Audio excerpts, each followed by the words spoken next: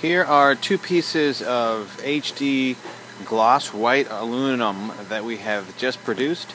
So we've got this particular project that has about 15 to 20 pieces that we're going to end up doing. So I'm actually on my way to Simi Valley to actually deliver this to the client and pick up the rest of the files. So that this size right here is a 16 inch by 16 inch. It has a white border.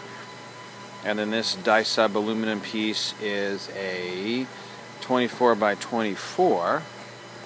So trying to get a little further out to kind of get an idea of what it looks like. It also has a white border on it. So I'll be driving this out to the client and then from there hopefully we'll be picking up additional files from him and I think it's going to be fantastic the way that it turns out. I think he's going to be extremely happy.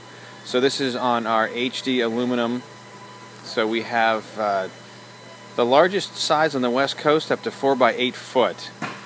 So if you've got any HD aluminum prints, any dye sublimation process that you want done, give me a call. My name is Joe Hill at ProLab. 310 846 4496. And this is for a fine art photographer so if you've got any questions, give me a call. My name is Joe. Thanks. Are also online at prolabdigital.com. Cheers.